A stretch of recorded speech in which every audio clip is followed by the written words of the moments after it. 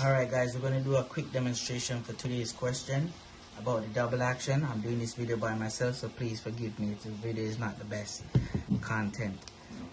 Alright, so double action. Before we get into that, let's ensure the firearm is clear. Firearm is clear. Double action. When you press the trigger, it does two things. It cocks the hammer, then it releases it. See what's going on?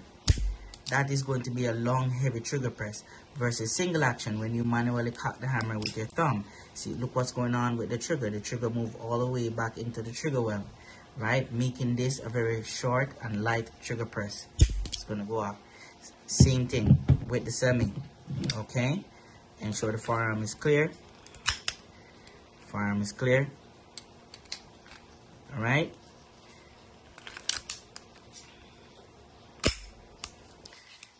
when you press the trigger, it's cocking the hammer, then releases it. Single action by manually cocking the hammer with your thumb. Pressing the trigger is going to move all the way back in the trigger well, making this a light and short trigger press. This particular firearm, it's going to be a double action only. Firearm is clear because it has no exposed hammer, making this a double action only firearm. Okay, long heavy trigger press. All right, thank you guys for watching.